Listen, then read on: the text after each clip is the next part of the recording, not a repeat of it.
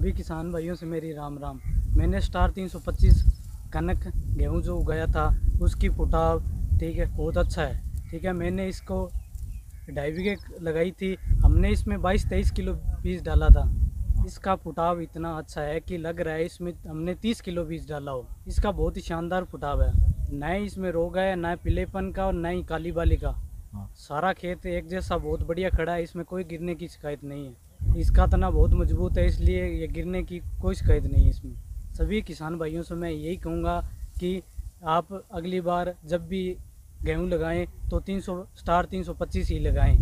इसका पुटाव और इसकी पैदावार बहुत अच्छी है। मैं सभी किसान भाइयों को नमस्कार बोलूँगा।